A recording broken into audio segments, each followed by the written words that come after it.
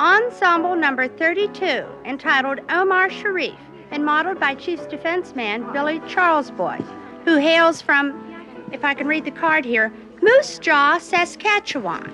Notice the padded You shoulders, nice, giving son. Billy the Real 40s look. Keep in mind that Ladies? the perfect accessory for the man in your life me, is a season ticket to the Chiefs games. I look like some cock-sucking faggot. in this Have you thing. seen Reg Brady? Joe, I don't care, man. Enough is enough. Nowhere in my contract does it say I gotta make a fool out of myself. Am I right? Hey, Have you seen Henley? Dunlop or I'm Brady? gonna flash him, Joe. Oh, now, I'm son, gonna walk please, down that sir. stinking aisle. I'm gonna open this faggot bathrobe and wiggle my dick at him. You will not. Yes, I am, Joe, and you know why? Because I want you to have a heart attack and die so that we never have to do this shit again. You and your fucking fashion show. You get Good publicity. You fellas have not been drawing them in the way you have in the past.